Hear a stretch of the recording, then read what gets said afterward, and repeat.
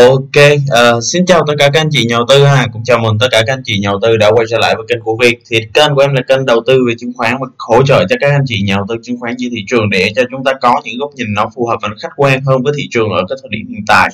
À, thì à, nếu mà anh chị nào mà lần đầu tiên đến với kênh của em thì có thể cho em một đăng ký kênh và để như là đó là những cái nguồn động lực rất là lớn cho em để ra tiếp theo những cái video ở phía sau nha.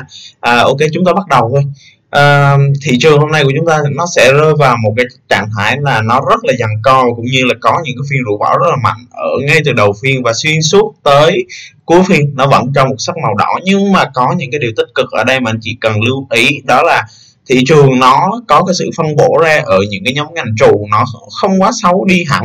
Ha tức là có những cái mã trụ nó bị đạp nó bị khấu ngọi nó bán băng rồng nhưng mà có những cái những cái mã, mã chủ ấy, nó lại có những cái động thái nó kéo.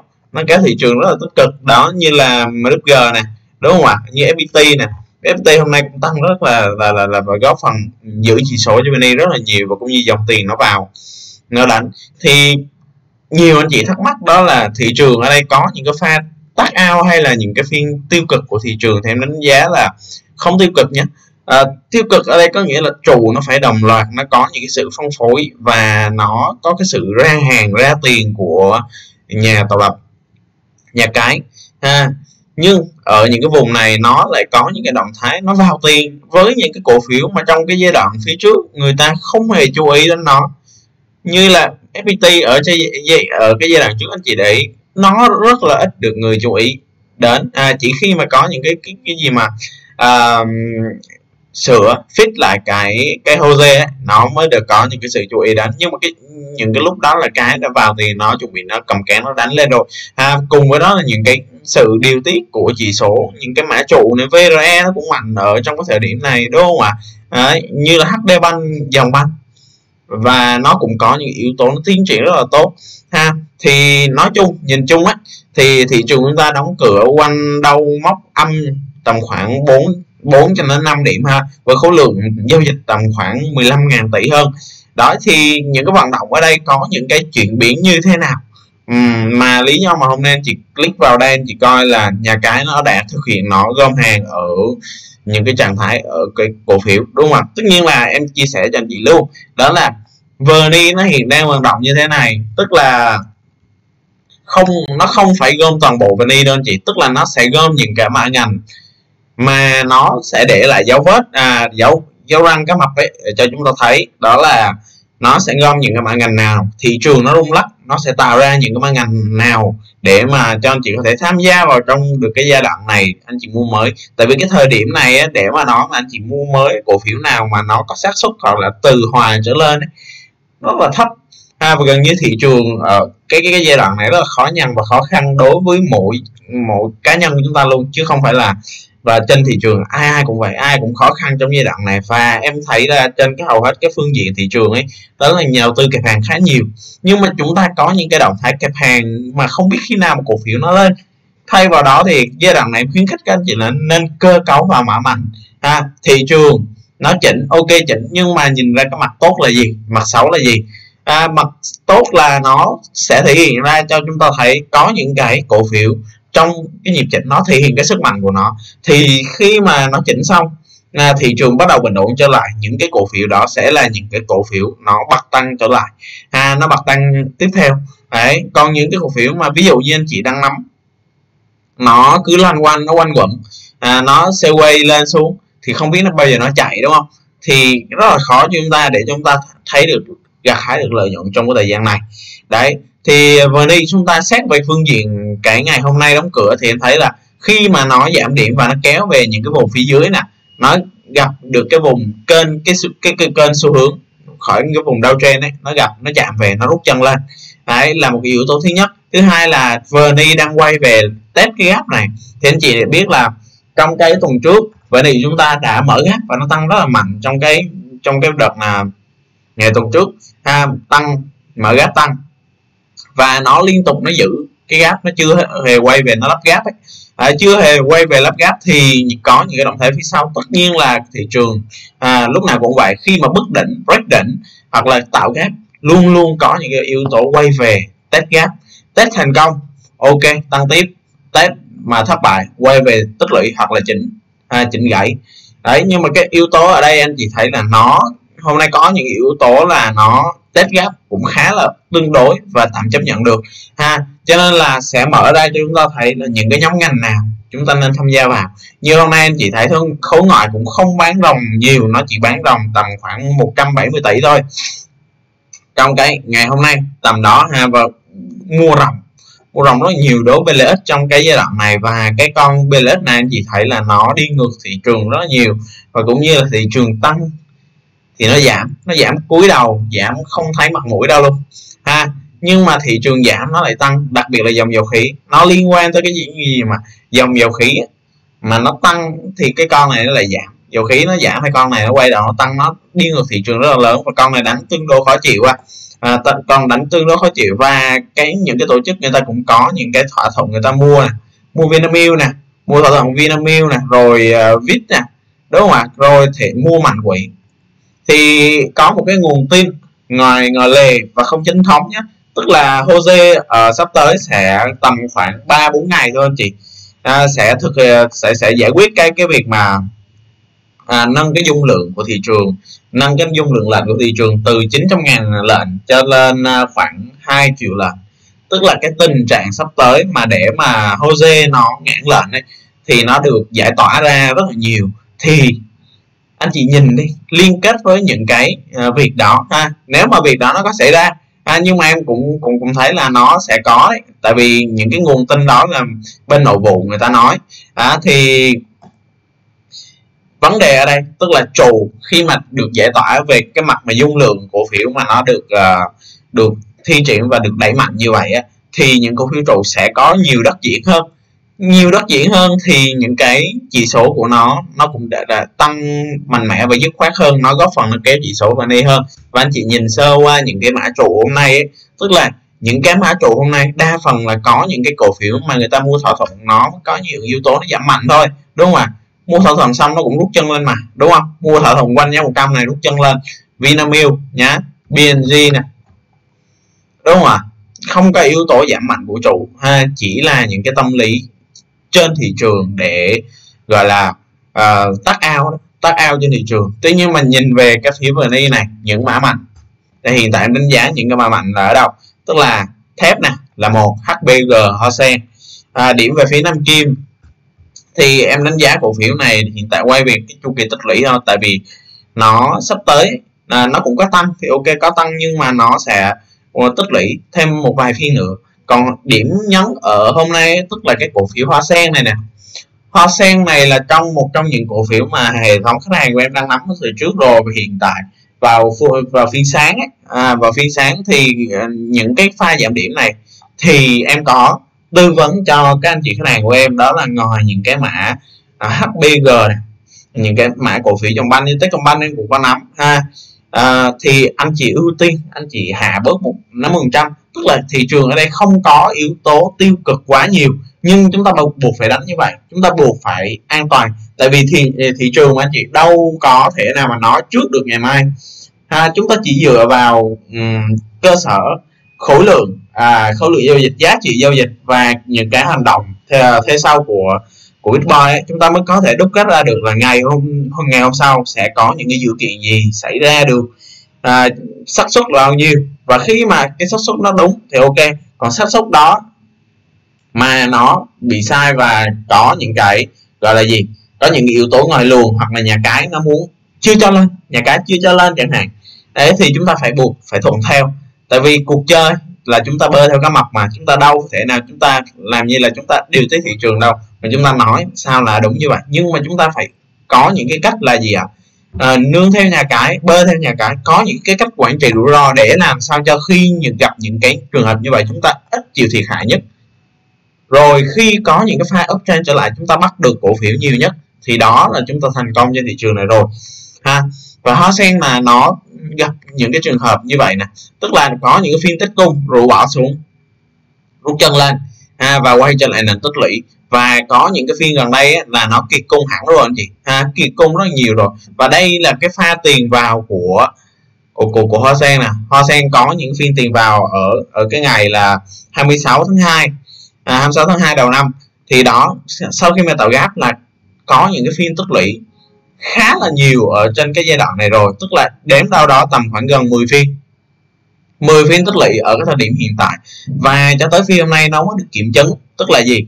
Tức là phiên hôm nay đáng ra những cái cổ phiếu có những cái cái sự yếu đuối của nó ấy, không có mạnh mẽ về mặt dòng tiền nó sẽ quay trở lại nó giảm điểm và nó bị chỉnh. Như là SSI nè. SSI thì cũng bị chỉnh mạnh nhưng mà SI thì về nền rồi. Một lát nữa em sẽ nói về cổ phiếu này sau. Quay về đi. Quay về Hoa Sen? Thì có những cổ phiếu như vậy anh chị hình dung ra được. Em lấy ví dụ cho anh chị xem thôi ha. Tức là những cái cổ phiếu mà nó có dòng tiền yếu trong cái giai đoạn này thì nó sẽ có những yếu tố chỉnh đỏ theo thị trường. À, còn những cái cổ phiếu mạnh trong giai đoạn này thì em thấy là là yeah, có những cái dòng tiền nó đi vào nó đỡ. Và mặc cho thị trường chỉnh nó thứ nhất là không bị chỉnh mạnh thứ hai là à, về tham chiếu không bị chỉnh đỏ. Ha đó hoặc là xanh điểm luôn. Đấy đấy là những cái tín hiệu dòng tiền mà khi mà khối lượng mà nó không cao nhưng mà ngược là khối lượng bán ra nó không có nhưng mà khối khối lượng mua vào khi bị giảm điểm khối lượng mua vào nó có là nhiều. Thì anh chị phải nên cân nhắc chú ý cái cổ phiếu đó. Ha cái cổ phiếu đó chúng ta nên cân nhắc mà list vào cái danh mục quan sát và chúng ta có những cái động thái giải ngân với nó thì Hoa Sen cũng là một trường hợp như vậy. Và cá nhân dòng thép á, trong cái giai đoạn trước nó chạy được một cái giai đoạn khá là ngắn rồi nó quay lại nó tích lũy nó chưa có những cái động thái gì mà nó mạnh tăng mạnh tăng thốc để mà nó có những yếu tố rủi ro ở trong cái giai đoạn gần đây. Cho nên anh chị hình dung ra đó là cái giai đoạn này hoa sen có những cái yếu tố gọi là à, tích cung này à, phiên nhất à, phiên này tết cung thành công nè. Rồi quay lại tích lũy nè. Quay lại tích lũy xong có những cái phiên mà siết chặt về nền giá như vậy thì anh chị phải nên lưu ý dần. Và đây cũng là những cái điểm mua rất là ok cho giai đoạn này mà uh, cho anh chị tham khảo. Uh, tại vì uh, hôm nay á uh, em có bán ra 50 trăm hoa sen nhưng mà thật chất là bán nó cũng chẳng vấn đề gì. Uh, chẳng vấn đề gì. Thứ nhất là bán hòa không có thiệt hại bao nhiêu. Nhưng mà khi mà chúng ta thấy là có những yếu tố rút chân về nền giá thì chúng ta tham gia lại. Chẳng mất gì của chúng ta cả. Ngược lại nó còn an toàn hơn nữa anh chị. À, khi mà chúng ta biết mà thị trường nó an toàn rồi chúng ta tham gia vào lại. Còn khi mà chúng ta thấy là thị trường nó rủi ro ít ra chúng ta phải rút được 50 trăm rồi. Đúng không ạ? Đấy còn những cái vùng vận động như này của hoa sen thì em thấy là khoảng hai ba phiên nữa nó sẽ chạy được. Là là là điều hoàn toàn có khả năng ha. Xác suất khá là cao là cổ phiếu nó sẽ chạy khi mà cái volume của nó nó đạt về những cái sự tích cung của nó hồi nãy giờ em có nói. À, thứ hai là đạt về cái yếu tố dòng tiền nó đi vào. Và thứ ba là cái yếu tố tạo gáp và tích lũy lại trên cái nền gáp test gáp về thành công rút chân có những yếu tố tạo nền siết chặt. Và thứ tư là cái cái lượng nhà đầu tư nắm hoa sen ở trên cái nhịp này người ta cũng đã ít đi rồi. Ha, ít đi hẳn. Cho nên chị cứ lưu ý về cổ phiếu này và dòng thép. HBG thì cổ phiếu ờ, ờ, uh, uh, HBG thì anh chị có thấy là nó sẽ không chạy nhanh bằng hoa sen đâu. À, không chạy nhanh bằng hoa sen đâu tại vì cái cổ phiếu nó dòng tiền lớn đi vào khá là nhiều. Các quỹ người ta cũng nắm nhiều cho nên là yếu tố HB, uh, à, HBG cũng sẽ có những yếu tố phân tách nó nhiều hơn. Cho nên là cái dư địa tăng của nó nó sẽ cần phải có những cái sự đồng thuận của các cái dòng tiền ở cái cổ phiếu này. Nó mới lên được. Còn hoa sen thì nó có nguồn tiền đầu cơ nó mạnh. Cho nên là cái vốn bản chất cổ phiếu này nó cũng đã có những yếu tố thanh thoát hơn HBG nhiều à cho nên chị hình dung ra được đó là hoa sen hiện tại có đầy đủ cái yếu tố thiên thời địa lợi và cũng như là cái sức mạnh của nó. Hôm nay thị trường nó rung lắc anh chị mới có những cái cơ sở mà chúng ta thấy được cái cổ phiếu nó tốt trong cái giai đoạn này. À, HBG à, hoa sen nhé anh chị nhé đấy anh chị cứ lưu ý dần về những cổ phiếu này và vùng hỗ trợ của nó. Em vẽ ra cho anh chị luôn rồi đó. Tức là vùng hỗ trợ của nó hiện tại đang nằm vùng hỗ trợ luôn. À, đang nằm vùng hỗ trợ luôn. Rất là tốt. Và thứ hai đó là vùng hỗ trợ phía dưới của nó nó có vùng gap này làm hỗ trợ này.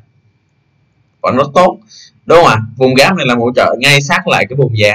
Cho nên là cái cổ phiếu này anh chị đánh, anh chị trading t cộng có lãi vẫn ok và ngược lại. Ha, và ngược lại cái yếu tố an toàn của anh chị là có. Cho nên chị cứ lưu ý cổ phiếu này. Hôm nay là cái video mà em tặng cho anh chị cổ phiếu này ha cho nên là mỗi ngày ấy, em đều uh, soi ra những cái cổ phiếu tốt nhất có những cái sự chọn lọc nhất em gửi đến cho anh chị. Thì anh chị có thể là nhớ đăng ký kênh của em và bấm nút chuông khi mà video nó ra là anh chị có thể bắt kịp được. Và chúng ta dành thời gian ngẫm nghĩ xem có những yếu tố phân tích này có đúng hay không có hợp lý anh chị hay không. Nếu mà ok anh chị cứ vào và ok ha. Và có những yếu tố hôm qua em cũng có nói về Techcombank nè. Anh chị thấy. À, dòng banh thì không không nói làm gì được tại vì nó là cái dòng xương sống của thị trường chung mà. Thị trường chung chỉnh thì tất nhiên dòng banh nó cũng phải chỉnh. Nhưng mà nhìn về dòng banh nó con nào mạnh, con nào yếu, nó sẽ có hiện ra hết.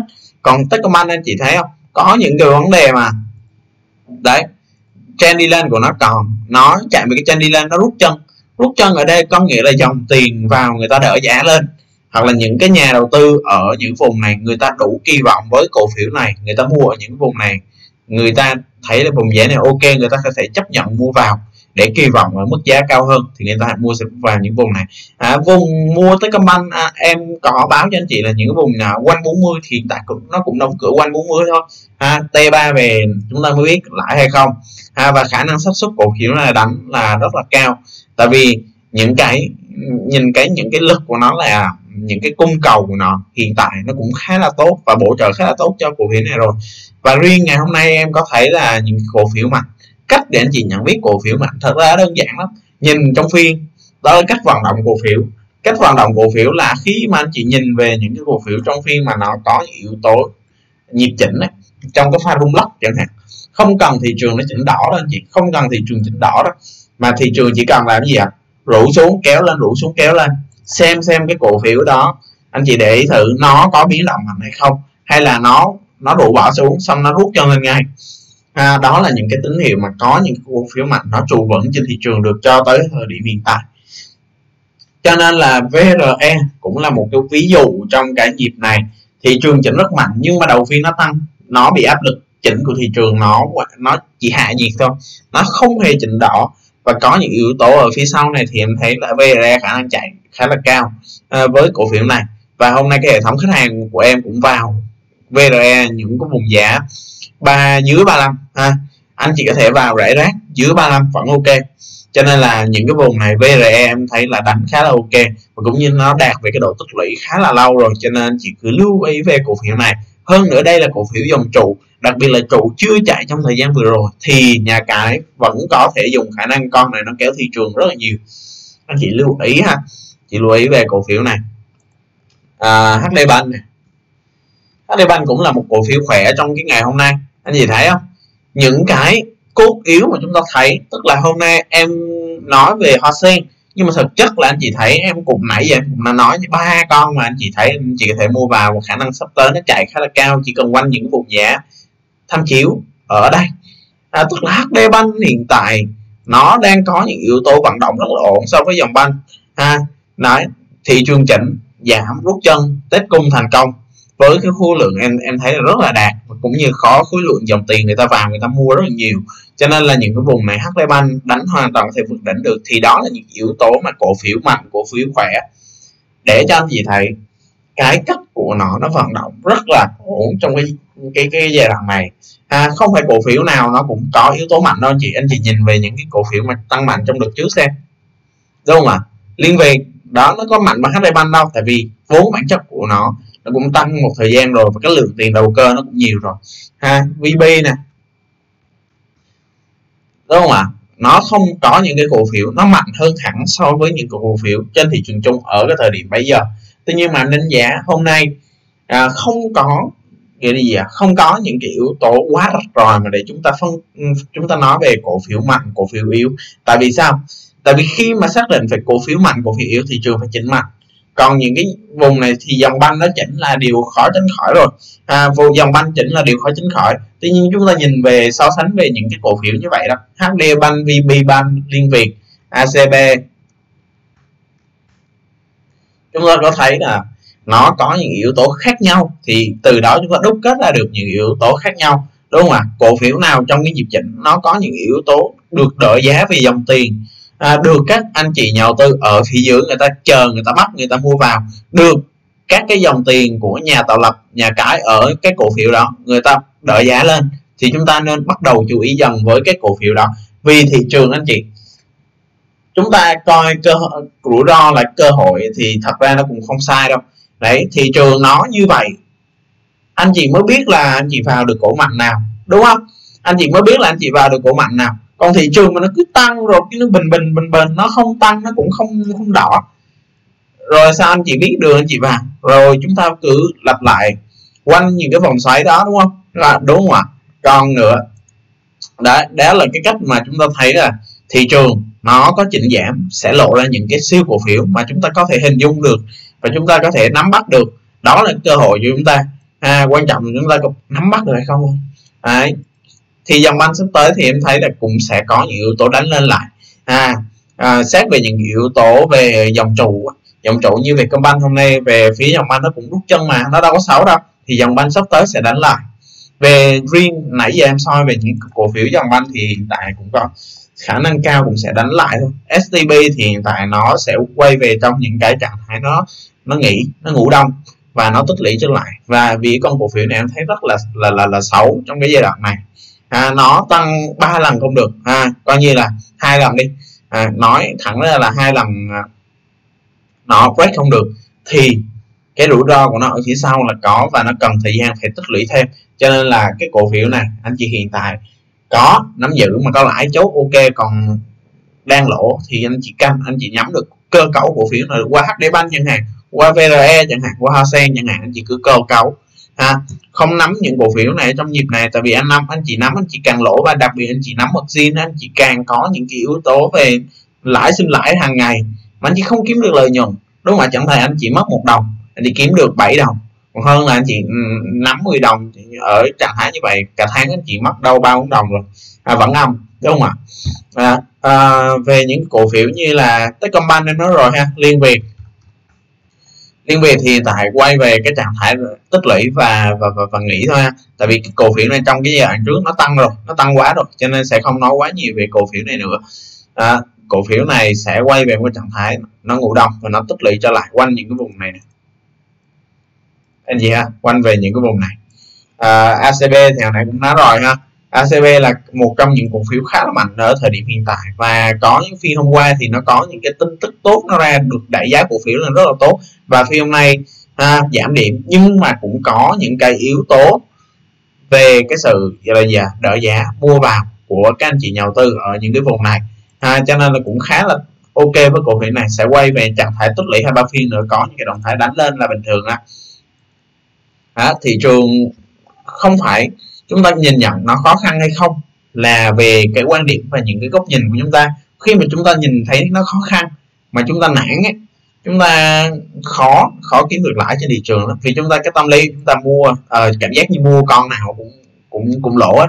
thì cái tâm lý nó rất là là là là khó để chúng ta kiếm tiền trên thị trường được thay vào đó chúng ta thấy là ô thị trường chỉnh tìm con nào nó mạnh đi thì khi mà chúng ta thấy thị trường nó phục hồi đấy đó là lúc mà anh chị tham gia anh chị nhập cuộc đấy, chúng ta phải biết rằng con mồi lúc nào chúng ta thấy rồi còn không anh chị cứ mua lóc vị thế cũng được. Không sao đúng không? Nhưng mà FG này ngành bán lẻ sắp tới cũng sẽ chạy à, ngành bán lẻ sắp tới cũng sẽ chạy đặc biệt là BNG sắp tới sẽ tích lũy lại và đủ ổn tích lũy vùng này em thấy đủ ổn rồi và thậm chí là hai đến ba phiên nữa cổ phiếu này sẽ chạy là bình thường. Với những khối lượng kiệt cung và tích lũy nâng dần đáy ở thời điểm hiện tại khá là tốt. Ha. À, tiếp theo là cái cổ phiếu à, uh, TV Bank này TV Bank thì hôm nay nó cũng có những cái động thái nó nó đi ngang nó xe quay thôi. À, chung quy lại là những cổ phiếu này à, cái giai đoạn này nó chưa có động thái gì quá nhiều. Khi mà vận động volume thấp giá biên động đi ngang thì em thấy là bình thường thôi sẽ quay về chu kỳ tích lũy thôi. Chưa có động thái nào mà để tăng điểm trở lại cả. Tuy nhiên xấu cũng chẳng xấu mà uh, đẹp cũng chẳng đẹp. Nói chung là cứ bình bình. Anh chị ha cứ nắm giữ cổ phiếu này thôi. Và điểm mua mới thì chưa có để anh chị vào mà để có à, có lãi ngay đâu. Thay vào đó dòng băng em khuyến nghị anh chị vào HD băng luôn đó. Đúng không ạ? À, cái cổ phiếu à, tiếp theo đó là SHB SHB thì cổ phiếu này trong cái giờ trước là lý do vì sao nó chạy thì em nói thật đó là do tâm lý của hành vi của nhà đầu tư trên thị trường thôi. Tại vì nó rất là dễ chi phối hành vi của anh chị đúng không? Cổ phiếu này trong giai đoạn trước nó bị cái yếu tố là nhà đầu tư bị ghẻ lặng nhà đầu tư ghẻ lặng con này rất là nhiều cũng như có ác cảm cực kỳ đối với con này luôn. Thì khi mà ác cảm như vậy ấy, số lượng nhà đầu tư bán ra nhiều số lượng nhà đầu tư không tham gia lại ở cổ phiếu này rất nhiều. Còn anh chị cứ để ý đi tâm lý anh chị khi mà nắm cổ phiếu này rồi đúng không ạ? Anh chị nắm cổ phiếu này rồi. Sau đó anh chị lỗ, anh chị mua những cái vùng này nè.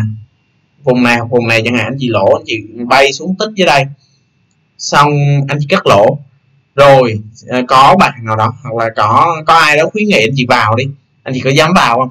Đó đó là tâm lý hành vi hành vi của chúng ta. Tại vì bản chất cái cổ phiếu này anh chị đã lỗ một lần rồi. Thì khi mà đi vào lại cổ phiếu, anh chị sẽ có xu hướng về chân và đó là cái tạo điều kiện cho nhà cái nó thu nó nó gom hàng ngắn ngắn hàng ở những vùng này và đánh lên thôi mà. Còn những cái vùng này em thấy là anh chị nào nắm thì nắm giữ thôi. À, nắm thì nắm giữ thôi.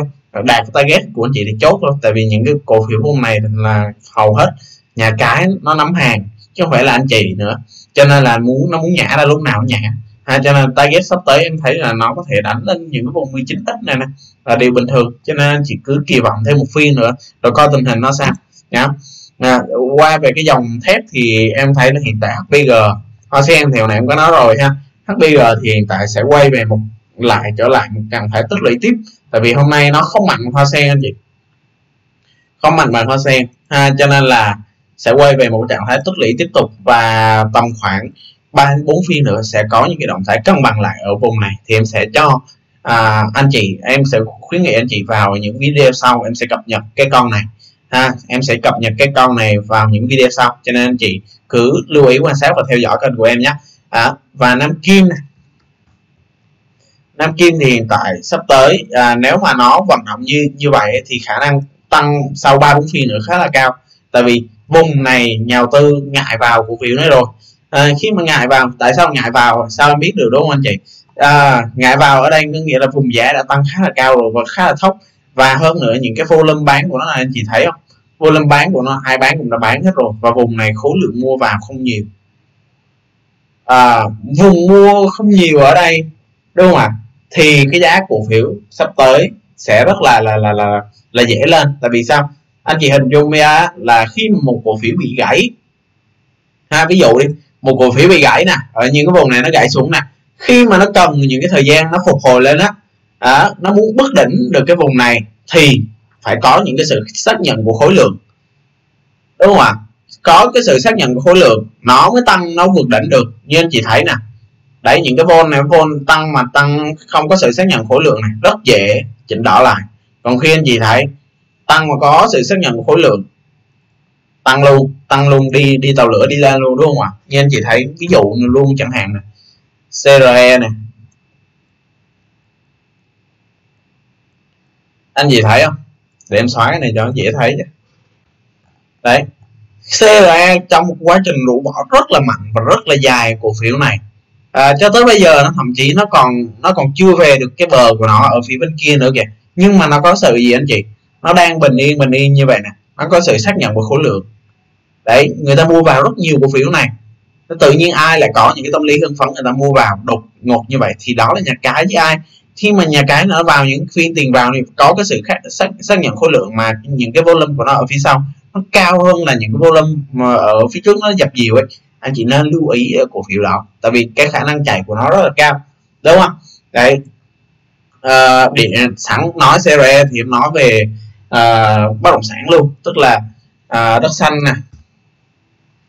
À, đất xanh thì hiện tại anh chị thấy là anh chị cứ nắm giữ cổ phiếu này thôi tại vì nếu mà anh chị đang có hàng à, thì anh chị cứ nắm giữ còn anh chị chưa có hàng anh chị có thể tham gia lại cổ phiếu này được ở cái vùng giá đâu đó 24 x nè. Dưới 24.7 thì em thấy khá thì em thấy khá là an toàn đối với cổ phiếu này. À, tại vì vốn bản chất cổ phiếu này nó vận động theo cái mô hình nến đó là ba con quả đen này Đấy, khi mà vận động theo mô hình như vậy thì khả năng sắp những cái phiên sắp tới nó chỉnh và nó tăng lại khá là cao khả năng vượt đỉnh với đất xanh là có nha anh chị nha. Cho nên chị cứ lưu ý và hôm nay thì em cũng đã khuyến nghị cho khách hàng của em vào cái đất xanh trước anh chị một ngày. Thì đó là những cái ưu tiên quyền lợi cho anh chị thôi. Tất nhiên là những cái cổ phiếu mà em phím cho anh chị trên cái youtube hôm nay nó vẫn đạt về cái độ an toàn. Em mới khuyến nghị cho anh chị vào. Còn nếu mà không đạt nếu mà nó không có những yếu tố nó xuất hiện những yếu tố rủi ro ấy, thì à, em sẽ không nói. Ha tuy nhiên về khách hàng của em thì sẽ được lợi hơn anh chị. Về cái gì? Về cái mặt t cộng. Tức là anh à, sẽ được ờ, lợi hơn về một ngày sớm một ngày chúng ta sẽ bán được hoặc là chủ động cổ phiếu nào đó. Ha lưu ý đất xanh có thể mua được những cái vùng này chẳng hạn. Mua được những cái vùng này hoặc là có hàng. Cách tốt nhất là có hàng nó nắm giữ thôi.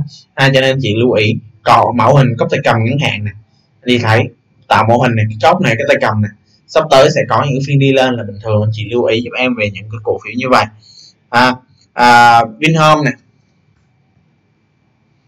à, Vinhome rút chân hai phiên liền rồi. Và những cái vận động này của nó nó anh chị thấy ý chí tạo lập ý đồ tạo lập nó đang ở, thể hiện ở đây rất là nhiều. Ha thể hiện ở đây rất là nhiều. Đó nó kéo xuống nó rũ bỏ thị trường nó rũ bỏ nhà đầu tư nó tắt ao nhà đầu tư. Xong nó lại kéo rút chân lên lại. Tại vì vốn bản chất những cổ phiếu này nó có một cái dạng đặc điểm đó là nó điều tiết chỉ số thị trường. Thì nhà cái nó dùng kho nhà nước nó đặt chỉ số thị trường nó nó bán ra để nó nó ép giá, thì những cái cổ phiếu này sẽ có những cái động thái giảm giá đi xuống. Thì khi mà giảm giá, nó sẽ có những cái động thái tiêu cực lên đến với thị trường, nó gây ra cái tình trạng giảm điểm đối với thị trường chung. Thì đó là cái cách mà nhà cái nó dùng cái hàng điều tiết chỉ số thị trường để nó nó điều tiết giá. Ha, cho nên chỉ cứ lưu ý. Ha, về Vinhome thì khả năng sắp tới với những vận động như vậy, thị trường của chúng ta ngày mai khả năng xanh khá là cao đấy anh chỉ lưu ý về những cái vận động này của trụ anh sẽ anh chị sẽ đúc kết ra được những vận động trụ nó đang như thế nào nhá.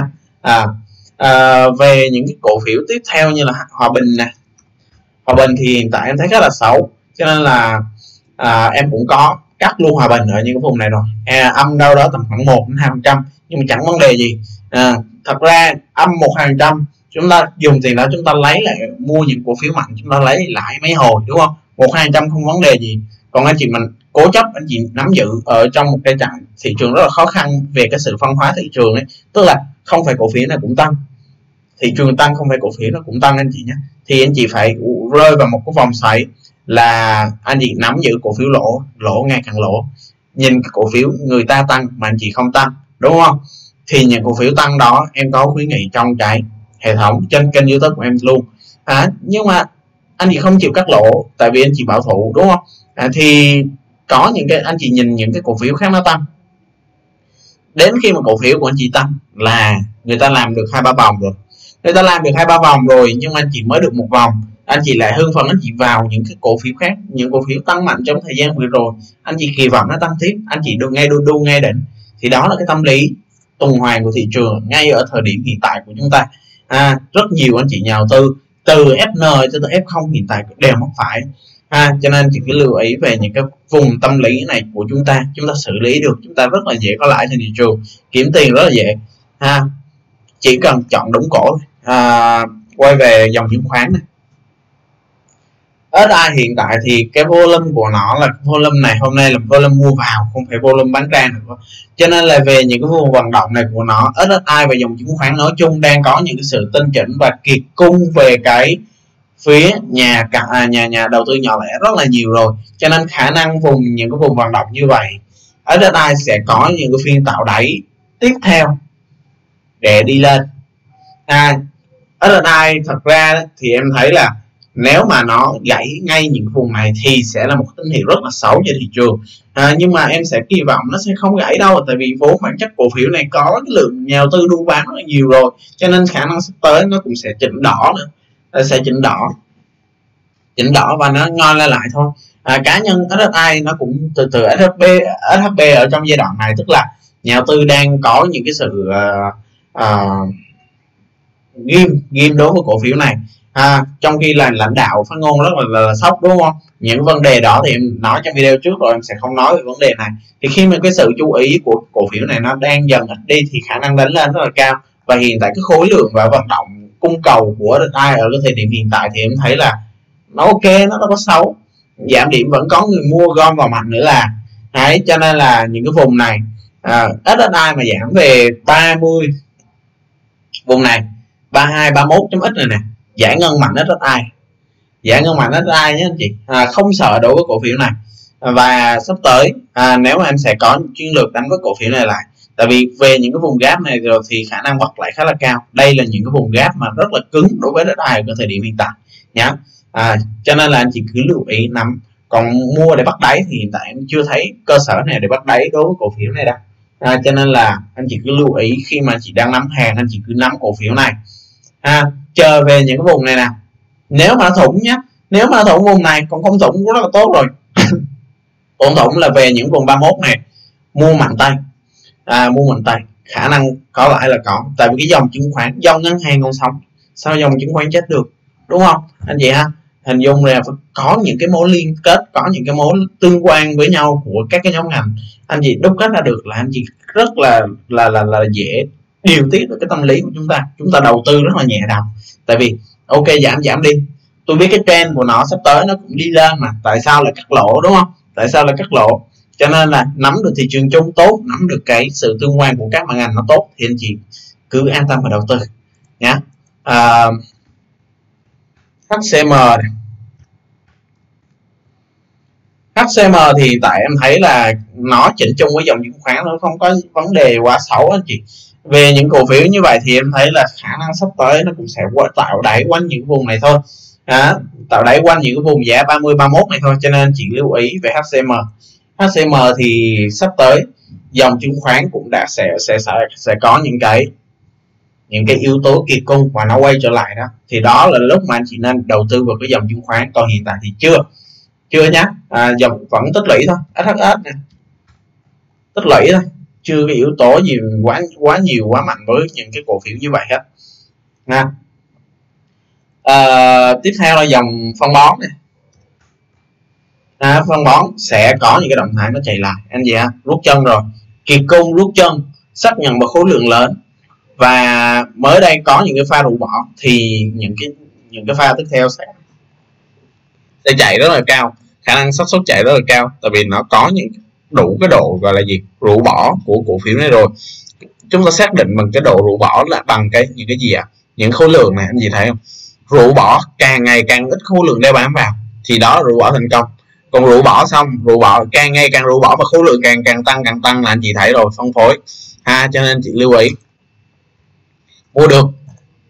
À, DVM thì em thấy là chưa mua được cũng là dòng phân bón chưa mua được. Ờ, chưa mua được với cổ phiếu này. Nó không có cái sự kiệt quệ về cung cầu cũng như là cái dòng tiền của nó không mạnh bằng DCM nhé.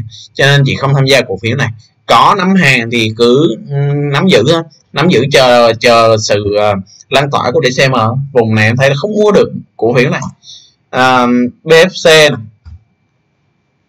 cổ phiếu này sắp tới cũng sẽ có những yếu tố nó giảm điểm á. À, sẽ có những yếu tố giảm điểm. Phiên hôm nay là cái cây nến hôm nay là cây nến bán này Canon bán Canon chốt lãi rồi. Tuy nhiên cái sự chốt lãi của nó không cao nhưng mà nó sẽ có những yếu tố nó tích lũy lại tích lũy lại những cái vùng giá này. Cho nên chỉ cứ lưu ý cổ phiếu này sẽ có những cái giai đoạn nó tích lũy quanh những vùng này nha. À, dầu khí. Dầu khí thì hiện tại anh thấy anh chị có thể là anh chị bắt đầu giải ngân dần về cổ phiếu này được rồi đấy. Dầu khí sẽ đánh trong cái giai đoạn này khi mà thị trường nó hết chỉnh anh chị cứ lưu ý giúp em về những cái cổ phiếu này. Tức là BVD ở cái thời điểm hiện tại nó đã có cái sự kiệt quệ về cung cầu rồi và phiên hôm nay nó góp phần, nó xóa ra tất cả các, cái lượng hàng nhà đầu tư, cái tâm lý anh chị nhà đầu tư bị giải tỏa, bị bị bùng nổ hết rồi. Cho nên chị bán ra cổ phiếu đối với phiên này cho nên chị cứ lưu ý về cái cổ phiếu này. Vùng này đủ chiết khấu để anh chị mua rồi. Ha vùng này đủ chiết khấu để anh chị mua rồi. Về nên đỉnh cũ tạo nên mạnh ở quanh vùng này thì anh chị cứ mua vào thôi. Thậm chí gia tăng vẫn ok nhé đó, à, BVS nè. BVS là câu chuyện em nói quá nhiều về cái giờ này rồi. À, tức là tuần trước anh chị nào xem video của em anh chị cũng đã biết. Em nói là cổ phiếu này sắp tới sẽ tạo hai đáy. Và nó mới đi lên lại được thì hiện tại cũng đang tạo ra một cái lề bên trái của cái đáy thứ hai rồi. Và sắp tới sẽ có những cái động thái tạo tạo cái đáy quanh những cái vùng này. Cho nên là dòng dầu khí đó là lý do tại sao mới nói sắp tới nó sẽ đánh được rồi và vùng này anh chị có thể giải ngân được rồi với cái dòng dầu khí. Ha BVS hiện tại em thấy là dòng dầu khí có thể nó chưa chạy ngay nhưng mà khi mà nhịp chỉnh này nó kết thúc tức là tầm khoảng à, bốn năm viên nữa dòng dầu khí nó quay trở lại nó chạy là bình thường. Cho nên anh chị lưu ý và anh chị mua mới anh chị phải biết chọn lọc cổ phiếu. Thứ nhất là hồi nãy em có phổ biến cho anh chị về những cổ phiếu mạnh là anh chị có thể mua được. Thứ hai đó là dòng dầu khí hiện tại đã có những yếu tố chỉnh xong rồi, anh chị có thể mua được. Nhá, anh chị thấy không? Anh chị thấy đó là những, có những yếu tố phân tích về cung cầu, nó nó có diễn ra ở ở cái thị trường nó hàng ngày như vậy, chúng ta mới có thể là đúc kết ra được sau mỗi phiên giao dịch. Còn bây giờ mà anh chị nói, đoán non đóng mò những ngày sau em thấy rất là khó, tại vì thị trường hiện tại nó vẫn còn đang bị cái gì? Kẹt lệnh. Gạt lệnh thì không thể nào biết được những yếu tố xa xôi ở trong tương lai được cho nên chúng ta phải đúc kết được từng phiên và chúng ta sẽ hỗ trợ à, tư vấn. À, em cũng sẽ tư vấn cho anh chị à, khách hàng của em. À, anh chị nào đồng hành cùng em trong cái hệ thống khách hàng VPS VIP thì em sẽ tư vấn hỗ trợ trong real time thì nó sẽ dễ hơn và nắm bắt thời cơ cũng như là nắm bắt cơ hội dễ hơn rất là nhiều nhé à, gas nè. À, vẫn chỉnh chung. Chẳng có gì mà mà mà uh, nói quá nhiều đối với cổ phiếu trụ này nữa rồi ha. Chỉnh chung anh chị nào đang đang đu ở trên thì anh chị cứ yên tâm về những cái vùng này sẽ có hồi và có những cái điểm ra cho anh chị thôi. Còn những cổ phiếu trụ tăng quá mạnh trong thời gian này mà anh chị thấy là cổ phiếu trụ nó ít tăng rồi nó tăng mạnh anh chị cũng vào nữa thì ừ, đu đỉnh rồi đúng không ạ? À? cho nên là cứ canh điểm ra mà vào ừ, cổ phiếu này thôi. Còn điểm mua thì em chưa có cái điểm mua vào những cổ phiếu này nhé. À, thôi à, thì hiện tại em thấy là vùng này cũng đủ chiếc khấu để em chỉ mua vào được rồi đối với cổ phiếu này. Và cái hôm nay nó cũng bị cái yếu tố gọi là bán tháo ra cổ phiếu rất là nhiều cho nên mới sinh ra những cục vôn lớn như vậy ha. Đấy và hiện tại oi cũng sẽ có những yếu tố đây là những cái vùng hỗ trợ của nó được hình thành ra trước đó rồi. Cho nên là vùng này anh chị nào ờ, sắp tới oi sẽ vận động gì tích lũy quanh lại quanh những cái vùng này thôi ha. À, oi sẽ vận động tích lũy quanh những vùng này? À, chưa có yếu tố tăng lại đâu à, bao. Bao thì hôm nay em thấy là đây cũng là những cái vùng mua đủ hấp dẫn để cho anh chị có thể giải ngân vào rồi. Ha đó cũng là ừ, có những cái ngành mà anh chị có thể là anh chị thấy đó là cùng một ngành. Nhưng mà có những con mua được có những con không mua được. Anh chị thấy ngành thép không? H, hoa sen mua được HBG chưa có điểm mua vào được. Mua vào ở thời điểm hiện tại chúng ta chỉ chờ thôi. Đấy cho nên là kết thúc video dịch chúng ta mới có thể chúng ta đúc kết ra được những cái cổ phiếu mà sắp tới nó có thể chạy mạnh trong cái cái cái cái nhịp này. Cho nên cứ lưu ý về những cổ phiếu mà có thể mua được dòng dầu khí tăng. Không có nghĩa là tất cả dòng dầu khí tăng. Anh gì nhá dòng dầu khí tăng anh chị thấy dòng dầu khí nó giảm không? BLS nó vẫn tăng đấy. À, dòng dầu dòng dầu khí tăng BLS nó vẫn giảm. Có những cái con như vậy. À, à, bao những vùng này đủ chiếc khấu để chị mua vào được rồi. Quanh những vùng giá 13.6 này quanh những cái vùng giá tham chiếu ngày mai thì mình thấy là ok mua vào được ha. À, Bình Sơn này. Bình Sơn thì em thấy là cái cổ phiếu này sẽ đi trong cái trạng thái tích lũy giống oi chưa có nhiều quá nhiều biến động với cổ phiếu này. Nhưng mà về cái mặt trên dài hạn á, thì em thấy là cái dòng tiền nó cũng đã vào rồi. Cho nên là anh chị cũng không cần quá lo lắng về cái cổ phiếu này cũng sẽ sẽ gãy trong cái thời gian tới đâu. Cho nên ha cho nên là sẽ tích lũy lại quanh những vùng nền này. Đang anh chị đang nắm ở những hàng những vùng đỉnh ấy thì anh chị có thể nắm giữ thêm chờ hồi còn không là anh anh chị định mua mới thì à, đợi đâu, tầm khoảng là ba bốn phiên nữa. Hồi nãy em có nói, dòng dầu khí sẽ quay trở lại tầm khoảng ba bốn phiên nữa ha. Cho nên là anh chị cứ lưu ý dòng. Ok, về vni của chúng ta hiện tại thì em đánh giá là nó sẽ có những cái nhóm ngành nó quay trở lại. Sau khi mà cái cơn bị cực này nó chạy qua rồi, và hiện tại em biết rất là nhiều anh chị nhà đầu tư có một cái tâm thế rất là chán nản ở cái thời điểm hiện tại. Thị trường liên tục đi ngang sideways, bốn phiên rồi thậm chí hôm nay nó còn giảm đỏ nữa. À, nhưng mà chúng ta nhờ đó chúng ta mới thấy được cái điều gì? Chúng ta thấy được là rất nhiều bài học trên thị trường của chúng ta có thể rút ra được. Đó là thứ nhất là cái sự kiên nhẫn. Thứ hai là cái cách nhìn nhận về cái mã ngành mà cái cổ phiếu mà anh chị có thể à, thấy. Đó là không phải mã ngành nào anh chị cũng có thể mua được trong một cái pha tăng của thị trường ở trong một cái pha sideways của thị trường. Thứ ba là anh chị rút ra được những cái bài học về cái cách giao dịch. Thị trường uptrend chúng ta đánh thế nào? Thị trường sideways chúng ta đánh thế nào? Em cũng có chia sẻ tất cả tần tật các cái à, kinh nghiệm của em về ở cái video những cái lần trước. Ha thì đúc kết lại thôi về vấn đi chúng ta hiện tại sẽ có những cái mã ngành nó quay trở lại nó tăng. À, quay trở lại nó tăng. Đặc biệt là em thấy là em kỳ vọng rất nhiều vào dòng băng và dòng à, dầu khí là đa số cổ phiếu trong ngành đó sẽ tăng nhé à, còn một cái ngành thép thì hiện tại em thấy là sẽ có những biến tích lũy tiếp nhưng mà một cái điều tích cực đó là hoa sen hiện tại đang có những xu thế rất là mạnh ở thời điểm hiện tại. Ha và em cũng vừa chỉ cho anh chị về những cái cách gì? Cái cách là cổ phiếu mạnh trong cái nhịp chỉnh là cổ phiếu vận động như thế nào? Thì cũng mong là anh chị uh, có thể uh, tiếp thu được ha tiếp thu được và cũng như là hy vọng là cái sự chia sẻ của em cũng đóng góp được uh, cái điều gì đó tích cực trong cái quá trình đầu tư của anh chị nhá. Thì anh chị nào thấy cái video này hay thì cũng có thể là đăng ký kênh của em và cho em một like. Đó là những cái nguồn động lực rất là lớn để em làm những video tiếp theo trong tương lai. Và cũng đừng quên là chia sẻ cái video này cho tất cả các anh chị nhà đầu tư mà anh chị quen biết. Chúng ta cùng tham khảo để cho chúng ta có đa góc nhìn hơn về thị trường. Chúng ta sẽ có uh, sự chọn lọc nhé ok thì cảm ơn anh chị đã dành thời gian xem video tới giờ này và chúc anh chị ngày mai chúng ta đầu tư thuận lợi và thành công nhé